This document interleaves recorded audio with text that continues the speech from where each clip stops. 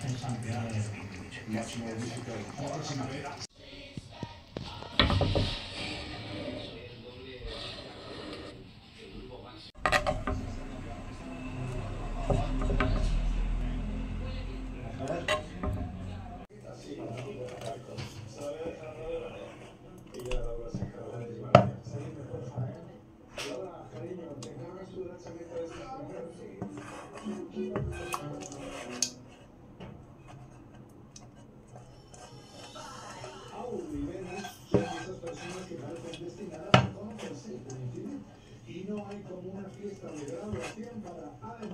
meterse en la fiesta, pasarlo bien y recordar cada momento toda la vida.